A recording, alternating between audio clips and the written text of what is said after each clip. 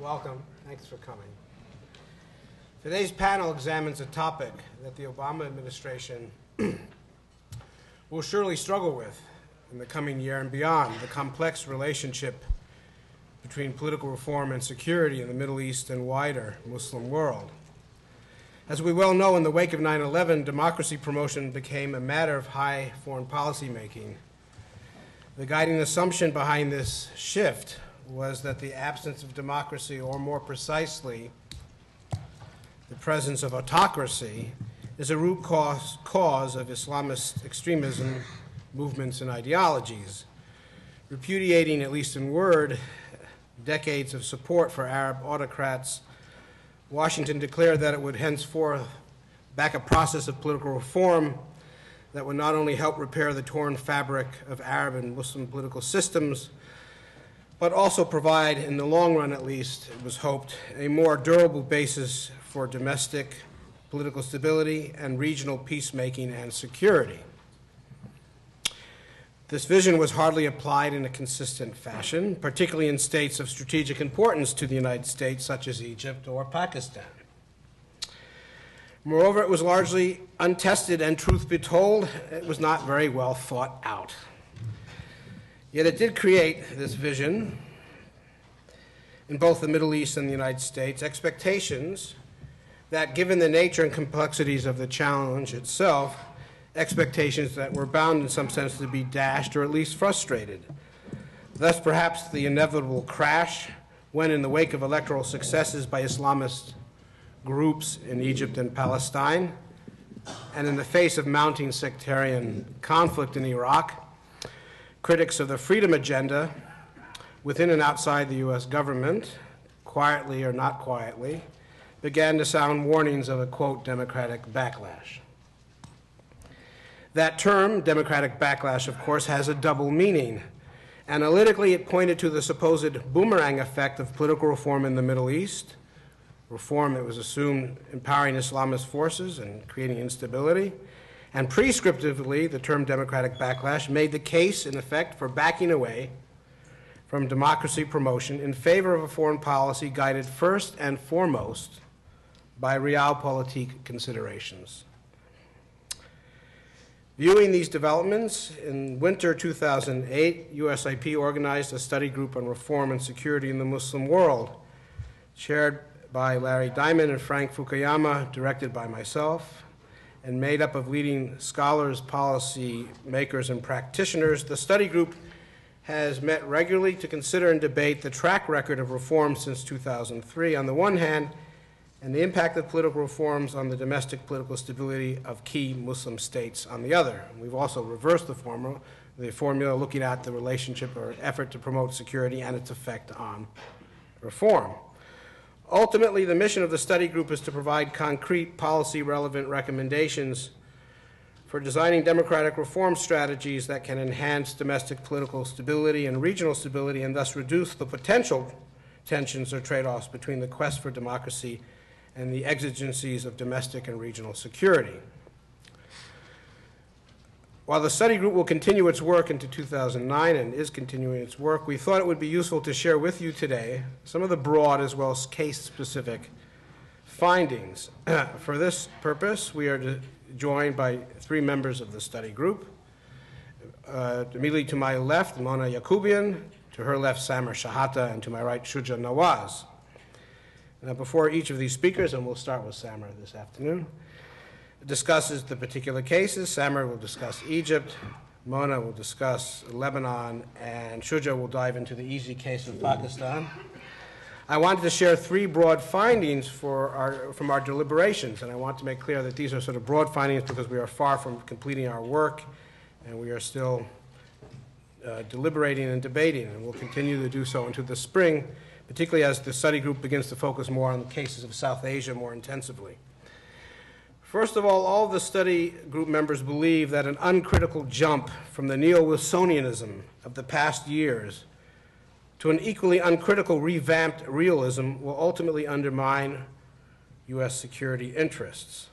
While democratic reforms by their very nature introduce a level of uncertainty and sometimes instability that troubles regimes and the key constituencies that they protect, the ideological and political gulf between states and societies will only expand absent a process of gradual political reforms that allow for accountability, participation, and effective governance. To put it uh, succinctly, we do not believe that it would be in the interest of the United States simply to abandon this agenda, and we are concerned about how it can be revived in a more effective way to garner both domestic political support, or support in the Beltway in particular, and of course regional support uh, where the reform agenda is unfolding. Second, we believe that Washington must give greater attention to the overall architecture of security and peacemaking in the Middle East. The cases of Jordan and even Palestine demonstrate that where there is a real prospect for a just and sustainable two state solution to the Palestinian Israeli conflict, radical Islamist voices will mobilize, but they will not necessarily prevail. Indeed, Hamas's so called electoral victory was not the result of an inevitable Islamist wave spreading throughout the region. Had the peace process borne fruits much earlier, and had Fatah not fragmented in tandem with the, the collapse of the peace process, it is doubtful that Hamas would have squeezed through in 2005. Third, we believe that a resolution of the Arab Israeli conflict will reinforce modern Arab voices and, in so doing, allow for a more sustained focus on the domestic challenges of political reform. There is a linkage there, particularly the closer you get to the center of this conflict. But we do not think that Washington should throw out the proverbial baby with the bathwater by pursuing a peace process at the expense of democratization. Arab leaders will happily invoke the challenge of Arab Israeli peacemaking or, of course, the struggle against radical Islam to deflect pressures for reform. But as the case of Pakistan suggests, and it's not the only case, Washington should not indulge such posturing, such instrumental posturing, in a manner that magnifies the political leverage of increasingly unpopular autocrats. None of our friends in the Middle East or South Asia will abandon their strategic relationship with a U.S. government that makes clear its long-term commitment in both word and deed to a process of effective political reforms. So we do believe that the United States needs to be recommitted to this agenda, but committed in a way that uh, will produce a uh, effective and gradual uh, process of democratization. Now, having said all that, these are three broad outlines. The cases are very different in many respects. They share some similarities. Uh, we couldn't possibly, in the context of this meeting today, in the short hour that we have, uh, provide you a summary of all our deliberations or go into all the cases, obviously. But we thought we would at least share with you uh, some of the uh, uh, uh, particular case studies.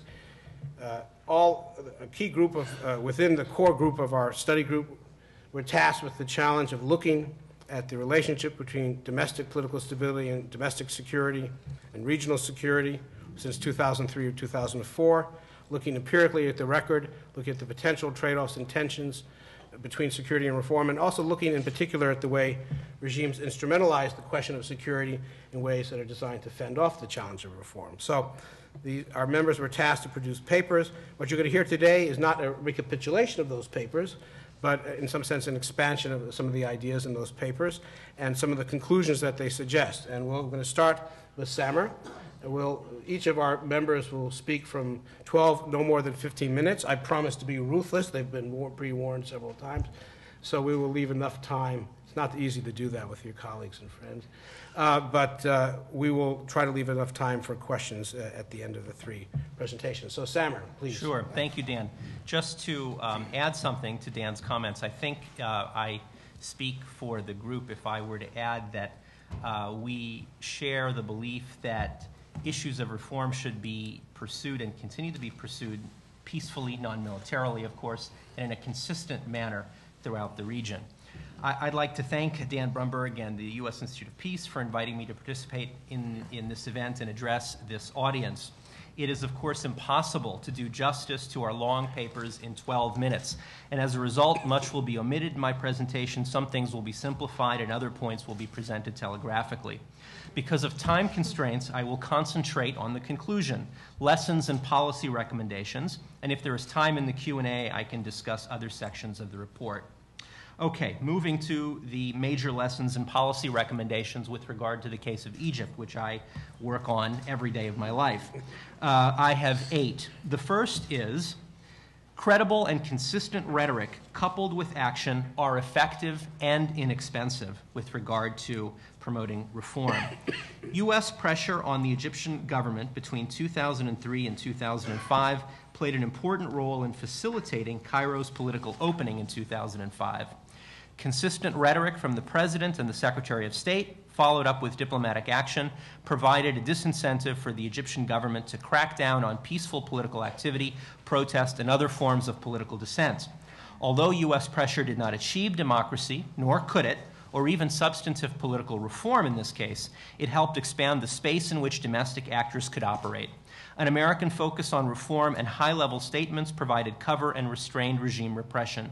Domestic actors, including new movements, reform minded judges, and established political groups, took advantage of the increased space to engage in peaceful politics.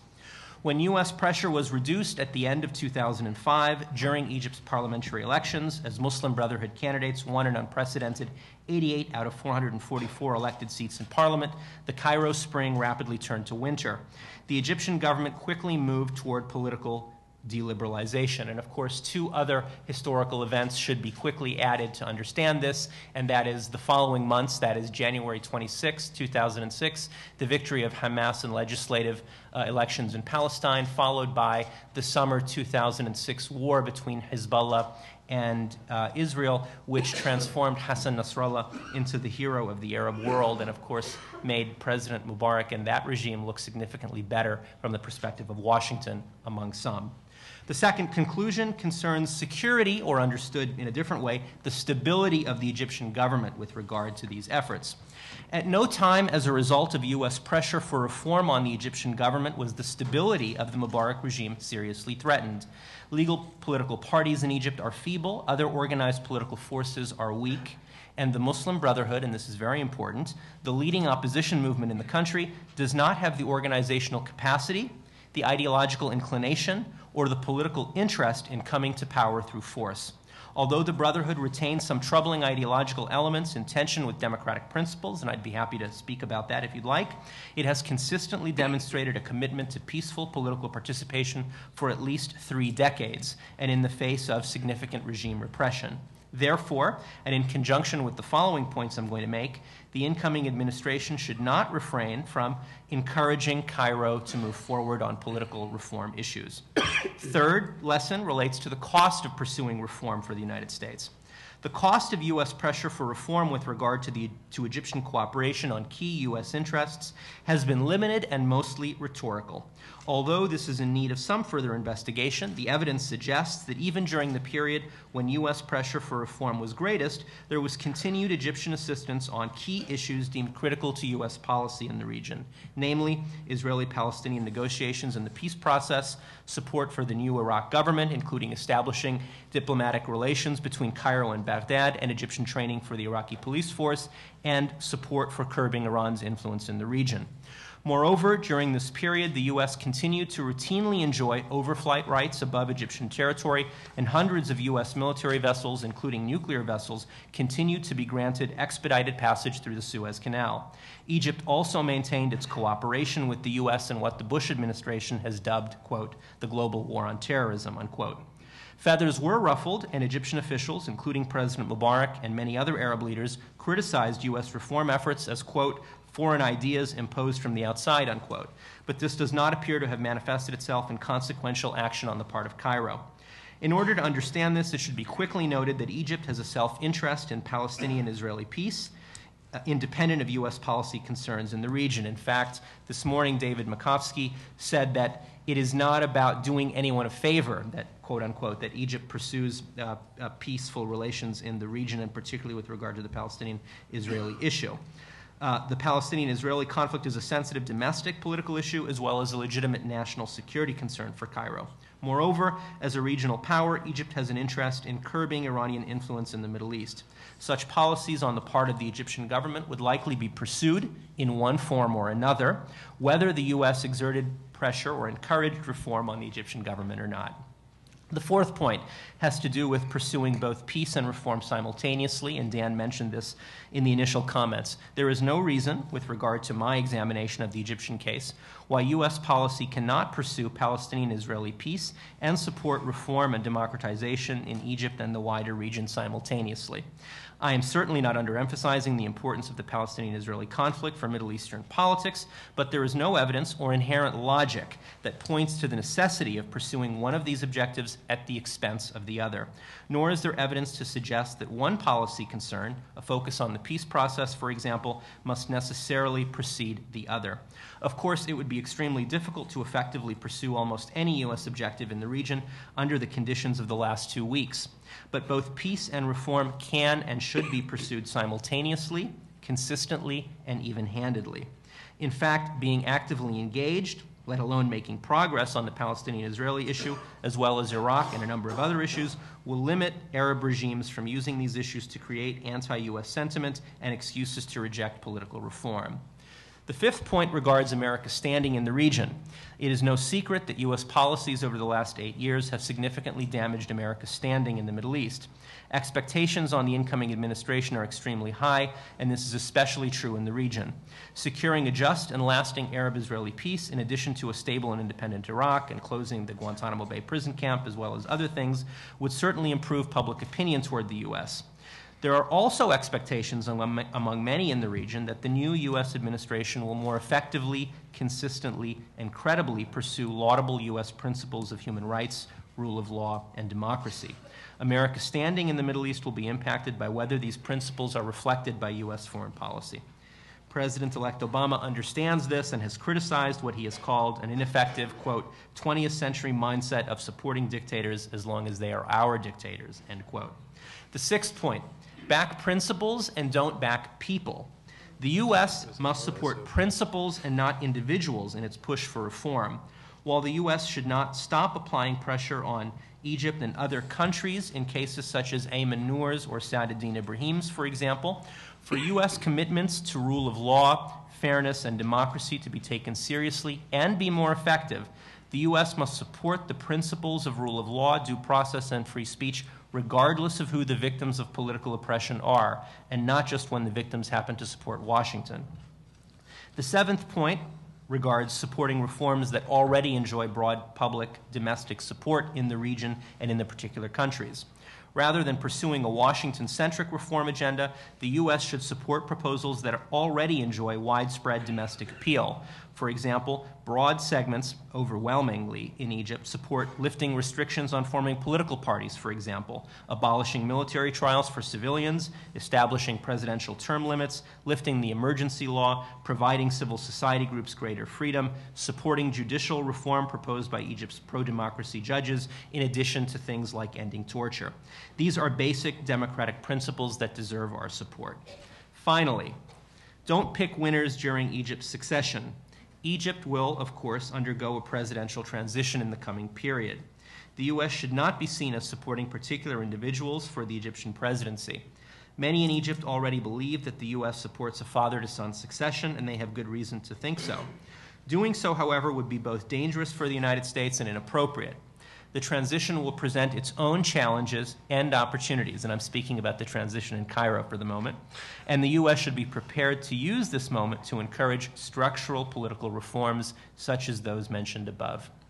There are many more issues to discuss than the 12 minutes have allowed, or 11 minutes I think I might have taken, and I would be happy to address some of them in the question and answer period. Let me end, however, by saying that Egyptians are increasingly frustrated with political stagnation, corruption, poor governance, rising prices, and for many, deteriorating economic conditions. U.S. policies that support comprehensive peace in the region, democratization, and economic prosperity are in our interests as well as the people in the region. Thank you very much. Reform and domestic security, in my case, in the Lebanese case. Uh, and then I will conclude with my sort of policy recommendations. Let me give my bottom line up front.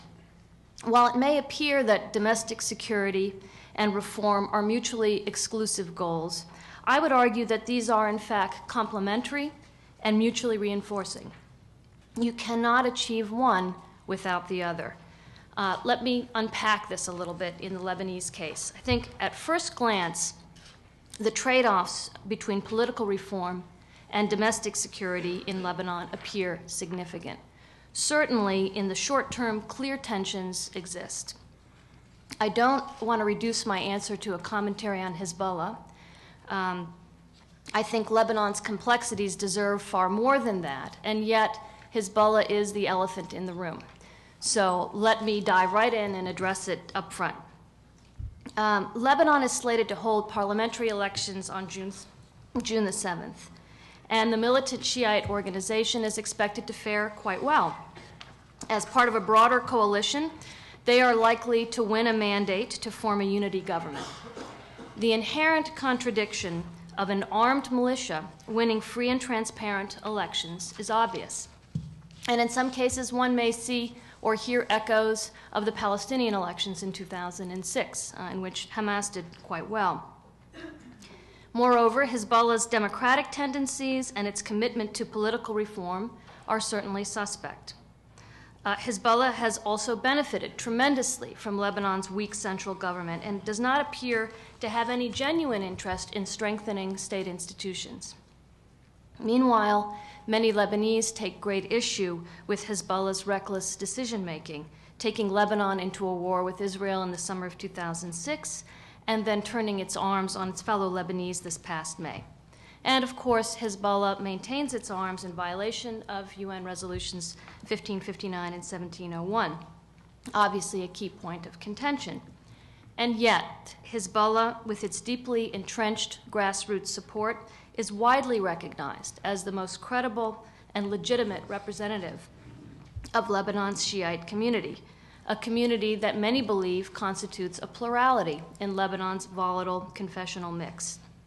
Here, I think it is important to consider Hezbollah's dual nature as both an armed resist, militia qua resistance movement and a social and political movement that is deeply rooted in the Shiite community.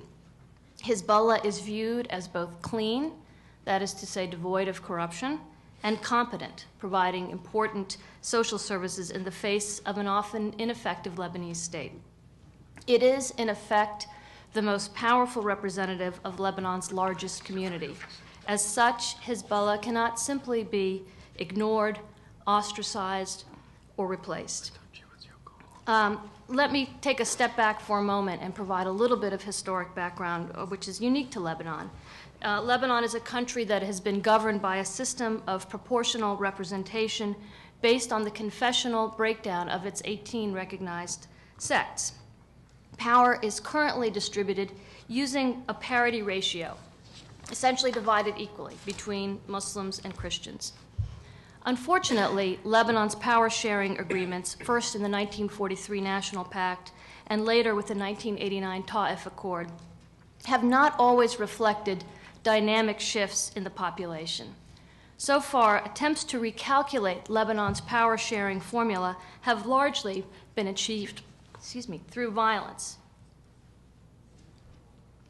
Most notably with the 1975 to 1990 Civil War. Um, since Ta'if, the Shiite community in Lebanon appears to be on the ascendance. Certainly since the Israeli withdrawal in 2000 and the Syrian withdrawal in 2005.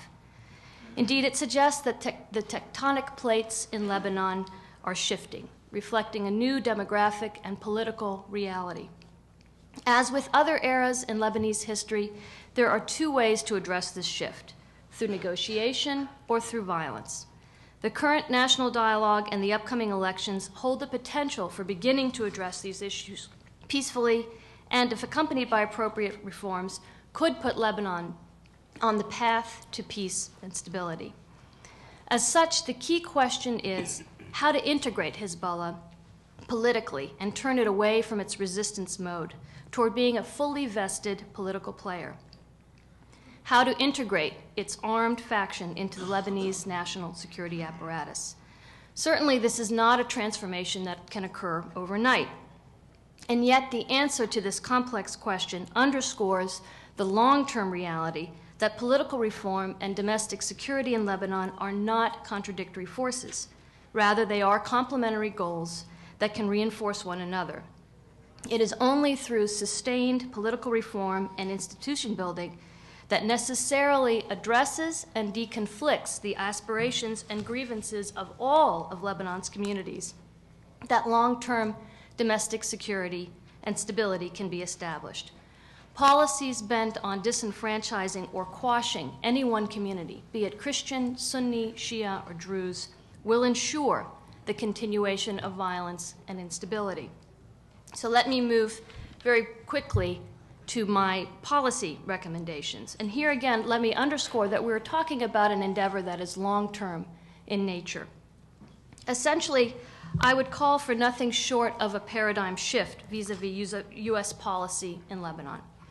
Following the euphoria of Lebanon's uh, 2005 Cedar Revolution, U.S. policy fell far short of helping the Lebanese to build on that momentous achievement. The U.S. pursued a policy that essentially sought to promote one faction over another rather than helping to lay the groundwork for a peaceful and democratic Lebanon. After months of political paralysis and violence, Lebanon came to the precipice of civil war last May.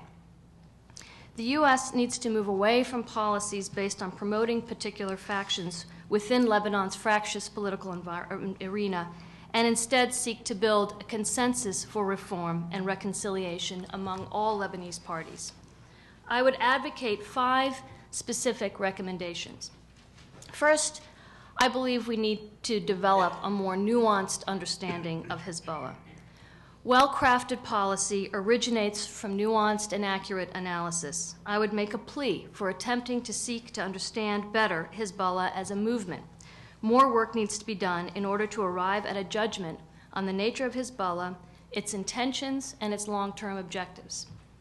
Under what conditions might Hezbollah evolve into a fully political actor and integrate its arms? how would the environment need to change? To what extent can U.S. policies and actions in Lebanon encourage this shift? Second, to play a constructive role in Lebanon, the U.S. must recognize Lebanon's political and demographic realities. We should resist the temptation to play regional proxy wars out on Lebanese soil. Certainly, no one can deny that Iran's influence and Syria's on Hezbollah is important, but Hezbollah cannot be reduced to an Iranian proxy. Hezbollah is also a Lebanese player that represents a key community. The U.S. must address Lebanon's evolving confessional makeup. Third, U.S. policy in Lebanon should be above the fray. Uh, US, the U.S. policy, as I mentioned, of supporting one side over another has not yielded intended, the intended results. Instead, Lebanon has witnessed great instability and violence since 2005. More broadly, whenever U.S. policy in Lebanon is geared toward supporting one faction or another, the U.S. has not been successful in achieving its goals. Rather, it ends up getting sucked into the morass of Lebanese politics. Fourth, U.S. efforts should be focused on institution building, strengthening the state, and political reconciliation through dialogue. The U.S. should specifically seek to strengthen state institutions such as the parliament, armed forces, the judiciary, Last year, as part of the Doha Accord, a new electoral law was passed. It achieved some important reforms, but more significant reform is necessary to help move Lebanon from a system of feudal politics to a modern democracy.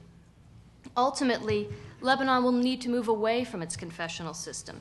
The roadmap for this shift is laid out in the Ta'if Accord, and the U.S. should seek to promote reforms that place Lebanon squarely on this path. Finally, I would advocate that we engage with Syria.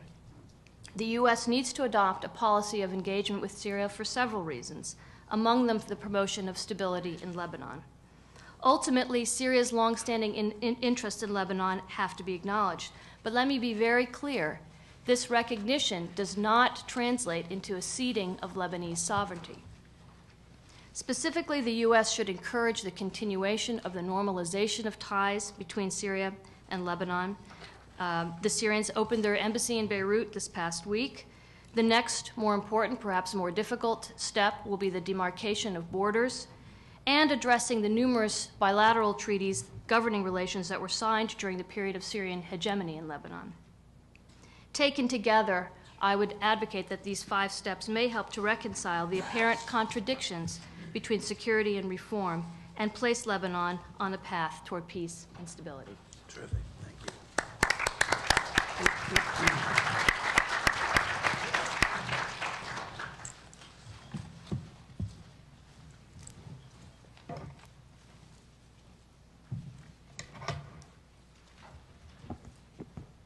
Thank you, Dan. Uh, It's a pleasure being here and uh, seeing so many familiar faces. Uh, I hope uh, I don't end up repeating things that you've already heard me say, including uh, yesterday. Um, But uh, I was brought into this study um, uh, once it has been, it had been launched because uh, Larry Diamond and Frank uh, Fukuyama decided that uh, the Islamic world really needed to encompass Pakistan as well. And so a new definition emerged, and I was pleased uh, because as I participated in the group, I discovered what I'm discovering even now, listening to my two colleagues here, that many of the lessons that uh, can be drawn from the region, particularly for US policy, uh, are quite common and similar. Uh, and so uh, my attempt uh, in, as part of this study was uh, to address the question is history going to repeat itself? And this was couched in terms of the US Pakistan relationship. But when we look at security and reform, um, as Dan also emphasized, the issue is not simply external relationships. Uh, it, the, the real key to, to uh, long term security are internal issues and what countries are willing to do themselves and what the United States is willing to help countries uh, achieve over the long run. Uh, so there needs to be, uh, if I were to, uh, to cite my bottom line up front, there needs to be a shift of the United States from a transactional relationship to a strategic long term relationship. And just to give you a very quick potted history of the US Pakistan relationship, um, because uh, obviously these details are, are far too long uh, to compress in such a short period, but uh, it's akin to a roller coaster uh, with its ups and downs, and uh, there are uh, periods of intense friendship um, or ostensible friendship, which are primarily guided by the United States' uh, uh, own strategic interests and, and not taking into account uh, what Pakistan's strategic interests are. Uh, and these beg begin in the early 1950s, in 1954, uh, with, a, with a defense pact, uh, which was basically designed to help the United States protect the oil fields of Iran and Iraq against any Soviet advances towards the south. Uh, well, that didn't last very long because uh, Pakistan's interest was not so much as fighting the communists as it was to fight India.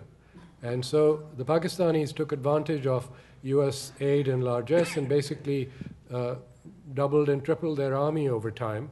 Uh, and most of the, the new cantonments uh, or military reservations that they built were facing the Indian border. But the US went along with that. So this was a, a relationship between willing adults. And uh, it was uh, also described by one US diplomat as an elaborate hoax. Um, then you had the 1958 coup, uh, under which uh, a civilian president uh, told the US ambassador four days before that he was going to impose martial law. And uh, the Secretary of State, uh, John Foster Dulles, uh, crafted a very carefully worded uh, cable uh, which uh, went back to say, yes, please tell him that we support democracy, etc., but uh, we are willing to live uh, with uh, deviation for a short period of time if it's necessary. So this became the kind of mantra and the kind of guiding force. Uh, then comes the 1965 uh, period when Pakistan and India went to war over Kashmir, and suddenly Pakistan, which was totally dependent on US aid, found that all its aid was cut off. And so um, Pakistan had assumed that it would get United States help uh, when it got into a battle with India, but the US read that uh, agreement very differently. In 1971, things had changed a little bit because the Pakistanis had put pressure on the US to actually issue a letter saying that if there were, uh, Pakistan was attacked by any country, not just the communists, that the US would come to its aid. And so uh, we have this very interesting scene with Henry Kissinger uh, in the White House briefing uh, President Nixon and saying that the people at state tell me that there's a piece of paper, but they're still looking for it. Um, so the point that I want to make is that uh, unless uh, you have a long-term historical view of the relationship, um, new uh, administrations will come into Washington and continue making the same old mistakes. Um, I, I illustrated this for our group uh, at, at the USIP uh, with, with just a very brief reference to, to how we look at time uh, in Pakistan. Uh, we have the word kal, which means yesterday and it means tomorrow. Uh, but it is, it's not bound by 24 hours. Tomorrow could be day after tomorrow, next month, next year, or maybe never, inshallah, bukra. Uh, the same with the kals, uh, you, when you say kal, meaning the past, uh, it could be a- decade, it could be a century. So when you talk to people in Pakistan, particularly on the street, they remember the events of 1950s and the 60s and 70s as if they actually happened yesterday. They have very fresh memories, and therefore they're extremely unwilling to support any government that is willing to tie itself to the United States.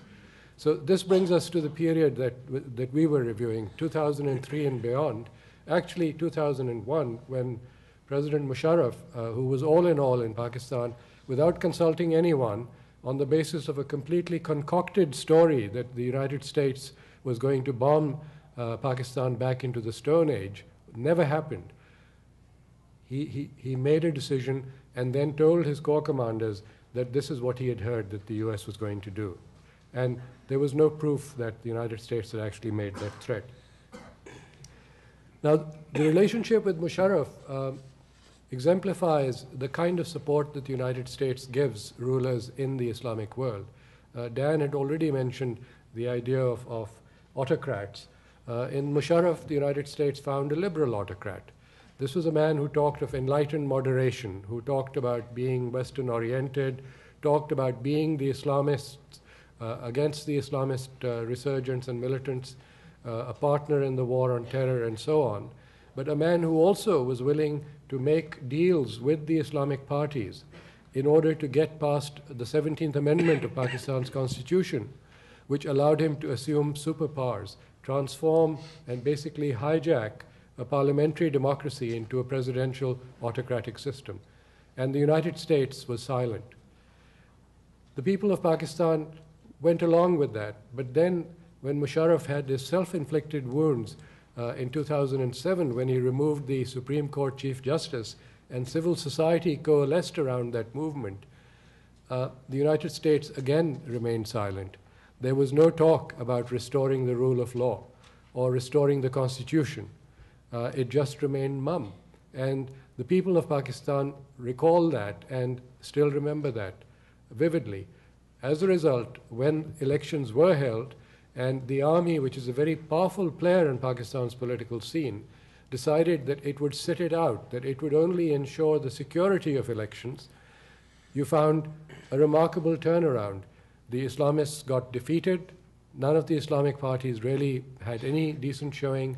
And you had a return of the two most popular parties, both of whose leaders had been sent into exile uh, Prime Minister Benazir Bhutto and uh, Nawaz Sharif.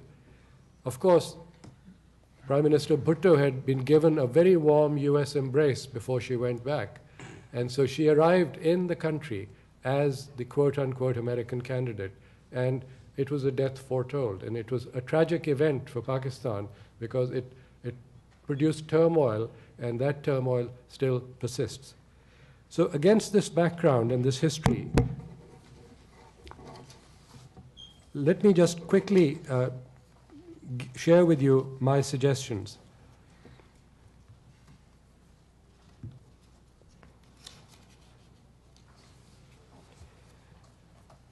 First of all, both the United States and Pakistan have to learn from this experience, from this history. Within Pakistan, and this is the critical part, the internal reform process, the political reform process must continue. And this means uh, ceding the powers of the center to the provinces so that you don't have the kind of uh, centrifugal forces that are created by the centralization of power in Islamabad. uh, you need to bring Balochistan, the Northwest Frontier Province, and Sindh along with the Punjab um, so that they're all in agreement on what kind of Pakistan uh, they want to, to be. The army has to withdraw to the barracks, and, and some of the, uh, the, the new signs from the new army chief, General Kayani, indicate that he wants to take the army back to the barracks and to convert it into a professional force again. But we've heard this particular uh, tune before, and things change, and as chaos ensues, and particularly when you have pressure on Pakistan from uh, the eastern border, as well as the uh, militancy and insurgency which is staining uh, not just the, the federally administered tribal area, but also parts of the settled area, uh, you're likely to find people turning back to the army to give it some stability. That would be a step backward. An important thing to recognize, uh, and this is relevant to some of the discussion of the rest of the Muslim world, is that Pakistan somehow managed to temper the, the rise of Islamic militancy by allowing Islamic parties to actually participate in its political system.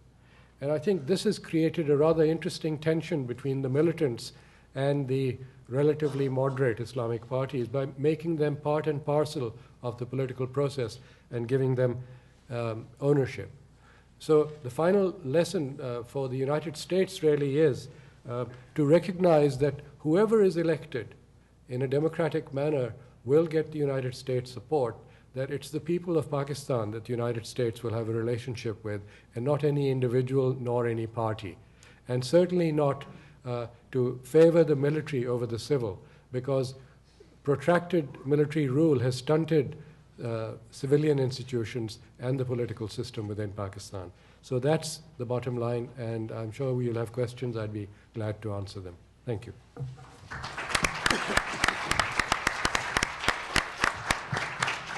Um, Remarkably, we have a good, uh, a good 20 minutes for discussions. I can only thank the group for adhering so scrupulously. I feel almost a little guilty. Uh, Perhaps that was too, too rough on you. You're the but, uh, liberal autocrat. the liberal article. I, I want to say that, uh, listening to the presentation, one of the things that comes, becomes clear is the extent of the absence of kind of long-term strategic thinking about the democracy promotion agenda in itself, and the way this agenda was somehow invented uh, on, on the cuff.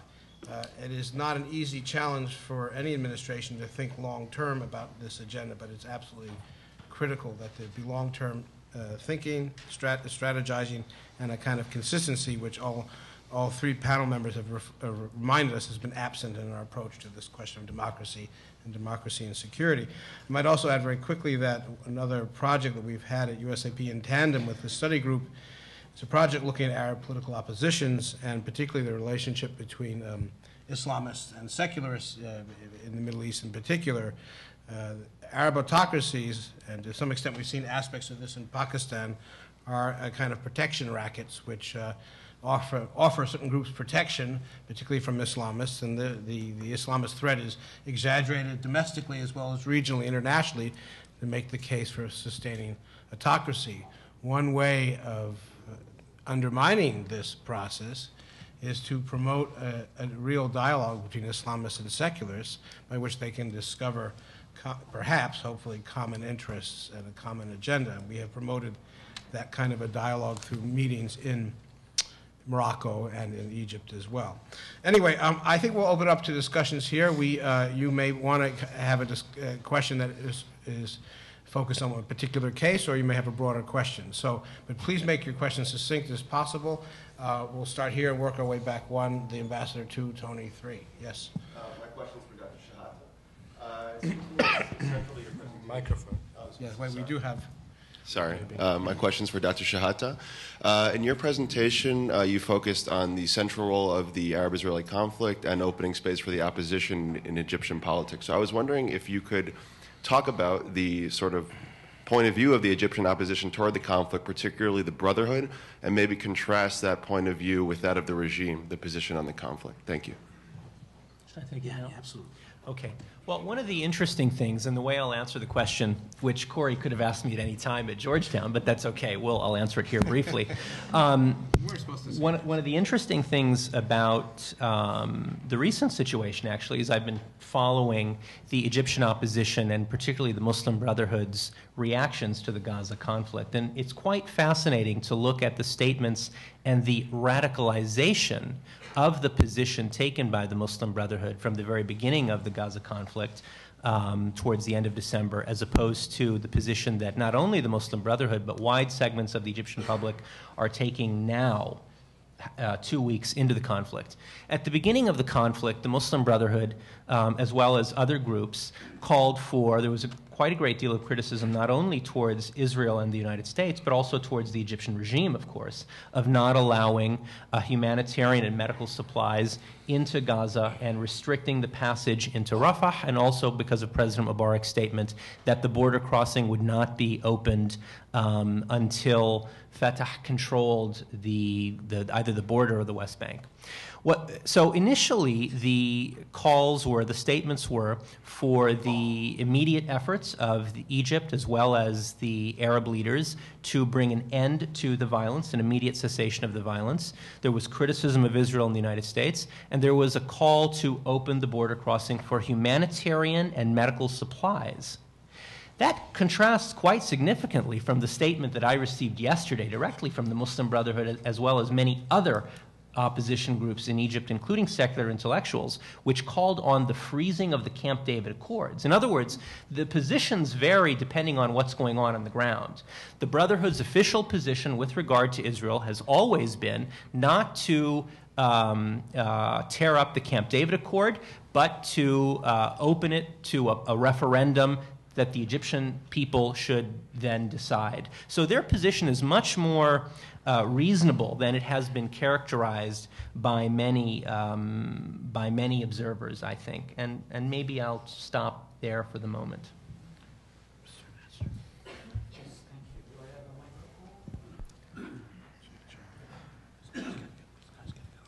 Uh, first, uh, despite uh, despite my disagreement with many things you have said, Mona, I fully agree with all your conclusions. Uh, at, at least you have offered a, a, a, a sophisticated, nuanced analysis of the situation in one particular Arab country. The big question is the following. I'm not sure if this should be addressed to Mona or to Samer. Um, um, uh, Mr. Brumberg, con- contrary to what you said, Mr. Brumberg, sorry, contrary to what you said, every every internationally conducted opinion uh, uh, survey in the Arab world have indicated indicate consistently in the past 10 years that the overwhelming majority of the Arab people hmm, would support the so-called policies of the policies of so-called rogue regimes and extremists. I mean, uh, uh, by, by, by the U.S. administration. Uh, uh, uh, only six months ago, the University of Maryland conducted a public opinion survey in six so-called moderate Arab countries: Morocco. Is so important: Morocco, Egypt, Saudi Arabia, Lebanon, United Arab Repub- uh, Emirates, and Jordan, in which 92% of the people supported the Iranian position on nuclear uh, uh, technology. When they were asked who were their most respected Arab leader, number one came Hassan Nasrallah, number two came the president of the rogue state of Syria, number three came Prince, uh, the Prince of Dubai, which is an indicator that first and foremost they thought of the nationalistic causes, and then they thought of the good governance. But those were the three leaders that were elected as the most respected by the Egyptians, the Saudis, the Jordanians, the Moroccans, and the Lebanese. Hmm? This is so important. The question is the following. Anna has just said that she expects in the forthcoming elections in Lebanon to have, uh, uh, uh, probably, it's a, a, a, a hypothesis, a government led by a coalition in which Hezbollah is the, the uh, largest partner. Uh, if we will see what, if, if the United States will follow exactly the example uh, given by President Bush and impose sanctions on Lebanon immediately, the very same day they elect such a government, just as it happened with Hamas, then what do we expect if the same happens in Egypt, in Algeria, in Morocco, in Syria? What, will we end up with a, a, a, a whole variety of, of, of Arab uh, regimes under severe, extreme sanctions by the United States of America? Or do you think this will be very different because we will have a different administration? On the uh, USIP Reform and Security Team applauded or endorsed uh, American policy towards the Middle East with regard to this particular question. I certainly believe that democracy by its very nature produces unknown outcomes and if you are a democrat you have to you have to accept the unknown outcomes as long as the basic institutions are in place that that require and maintain the principles of democracy and therefore i certainly thought that the us was incredibly misguided in terms of uh, cutting off or isolating the palestinians uh, after the January 26th elections, which were, by all international standards, free and fair. Uh, I would also say that it was a tremendous mistake, again, to reduce pressure on Egypt or to stop encouraging Egyptian reform, to be polite, uh, after the Muslim Brotherhood performed well in Egyptian elections in November and December 2005. I don't know if the disagreement is as maybe severe as it's made out to be. Yeah, and I would, may just very quickly add to this, I'm not worried or surprised when I hear that the polls would show that Nasrallah is a hero. It just, it just reminds us the extent to which, and we've seen this in dealing with our Arab op- oppositions project, the extent to which the, the, the enduring nature of conflicts in the region, whether it's between Israel and Palestine or more broadly speaking between populist forces in the United States, sucks the oxygen out of the air and allows for more radical forces basically to to set the agenda. So this is one reason why it's important to, to address the security agenda in tandem with the, and the peace agenda in tandem with the reform agenda, the two together. Anyway, we, we only have about six minutes left, so I've got Tony and then our, the gentleman here, and I believe Andrew, uh, and then, uh, Trudy. Uh, sorry? Trudy. Trudy, yes, Trudy, did you have your hand up there? Okay, and, we, we may have to call it quits at that point. Uh, we'll see how things go. Uh, Tony. Yeah, very briefly, and this is already. Microphone. Yeah. My wife says my voice is loud enough to talk without a microphone, but I'll use it here. Um, I have an, a hypothesis, and all of the panelists have really sort of touched on it or dealt with it without making it totally explicit. And then I have a very brief question. The hypothesis is anywhere that an honest, truly honest, truly democratic election is held today in the Arab world, and as Shuja, uh, Pakistan may be not the Arab world, but it may be an exception to this, but anywhere in the Arab world, almost certainly Islamists of some form or another are going to either win or at least do very well. I'd like to have the uh, panel's reaction to that. But perhaps more importantly, my follow on question is if that is the case, should there not be in Washington some very careful reconsideration of what we're doing or not doing in engaging directly with Islamist movements that come in various hues and have disagreements within themselves? Uh, in other words, a fundamental, perhaps, rethinking of our sort of uh, long-standing now boycott of uh, talks with such movements. Well, I, I, I will only say that uh, in many respects, the boycott of Islamist movements is more the exception than the rule. If we look at a lot of Arab states and we look at beyond the Arab world, we are engaging Islamists all the time, and Islamists are key players in a lot of our democracy promotion strategies. And often, when we look at this problem, it focuses on Egypt, and there we have a boycott. But it's not necessarily the case. But anyway, why, why don't I uh, turn it to my colleagues, and then I'm going to let the three other remaining question, uh, questioners put their questions, and then we'll just take them and wrap up, because we are under pressure to conclude. So please jump in. Uh, just a two sec, you know, very brief response. I mean, first, I think it's unclear in cases where Islamists are not permitted to participate exactly how well they'll do. I mean, on some level, because they're not per- permitted to participate, there may actually even be an exaggerated sense of how well they're do, they'll do. So let's put that out there first. But that being said, no doubt, for many reasons that perhaps you're familiar, um, Islamists do fairly well in open elections. And in a paper that I've wrote, I, I would argue that yes, we need to very much rethink a policy of responding in a knee-jerk fashion uh, to all Islamist parties. I, I- you know, my word here is nuance. It's, it's essential to inject nuance and to understand that these parties are also capable of evolving. And I would submit to you that political participation uh, breeds some amount of evolution and moderation, and therefore it's our, in our long-term interests for them to be included in the political process. Understanding that we're talking by and large, about moderate Islamist parties that eschew violence. The Lebanese and Palestinian cases are, I think, a bit different for many reasons, and I'll stop at that. I have been given the two-minute warning, so I- I'm, uh, uh, and I, uh, I'm afraid that we're going to have to uh, take these questions and then, and then wrap up. So very quickly, obviously, I'm going to ignore the two-minute warning, go on for four minutes. Microphone, Please. Question for, sorry, thank you. I have a question for Shuja. In, in when the Afghans were fighting against uh, Soviet troops, and uh, they were their enemies, our occupying forces, and they were, but the Mujahideen, they were Afghans were called Mujahideen.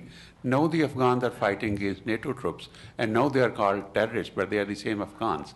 Can you draw some parallel? What is the difference here? And also, from uh, my friend from Egypt, I will say that how far is the parliament relevant in, in Egypt? And uh, if the recommendations he's making, if he takes his recommendations to uh, Hosni Mubarak, how he would respond to his recommendations? Andrew and- and And uh, my question is, oh, It's okay, Trudy, go ahead. and then- and- uh, my question is to Shuja. No, pass it. Um, The United States is an 800-pound gorilla in Pakistan by virtue of enormous amounts of military aid and now proposed by still Senator Biden, uh, much more uh, non-economic aid. Do you think that those two parts of aid should or could be used to try to ensure that democratic government remains?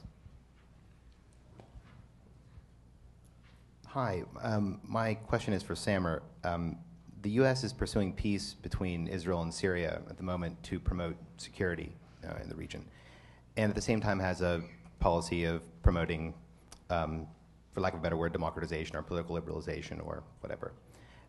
Samer, based on what happened in Egypt, how would a treaty likely affect political reform based on what we learned from Egypt? I mean, if you were to hypothesize, and what lessons can be learned so that we could possibly help achieve both? How would a treaty between Syria and, And Israel, affect political reform? And, Uh, I'm going to give each of our, like, let's imagine this is a presidential debate. Each of you has 30 seconds to answer, and we'll have to wrap Sure. up. I'm I'll- sorry. I will take uh, 30 seconds or less. Um, I think it wouldn't be unfair to characterize the Egyptian parliament, like many parliaments in the, uh, in, under authoritarian regimes, as being to largely rubber stamp institutions. In Egypt, we have an imperial presidency and a president who's been in power for 27 plus years.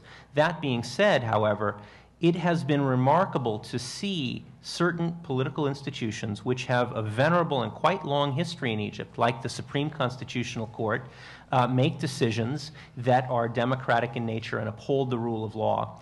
Also, interestingly enough, those political movements in Egypt that are seeking, in the most uh, energetic terms, to make the parliament as an inst- democratic institution relevant has been the Muslim Brotherhood. With regard to the question about what would Mubarak say, President Mubarak say to the recommendations, I think you know one of the first lessons of political science is that autocratic regimes do not give up power easily or willingly. They did not put themselves out of business, you know, uh, themselves. And so there would be no question that I think many of the measures that I have put forward would be rejected. I don't think that's the point. The point is the vast majority of Egyptians have called for these positions which are basic and fundamental, I think, to the principles of good governance, transparency, accountability, and political participation. I'm, I'm going to cede my 30 seconds to Shuja. I have an answer Thank you. Um, In response to Dr. Chaudhry, um, uh, this is, this is a reflection of the transactional relationship that the United States has had um, this change in, in the stance vis-a-vis the, the same people that once fought alongside the US against the Soviets. Uh, but I would go to uh, what Mona was suggesting, that there needs to be a nuanced approach in dealing with the, uh, mil- even the militant Islamists. You can isolate the extreme militants by talking to uh, the less extreme ones and bring them on board. Um, and uh, in fact, uh, just yesterday when we were talking at the release of our FATA report at CSIS, we talked about the Madrasa Reform Project.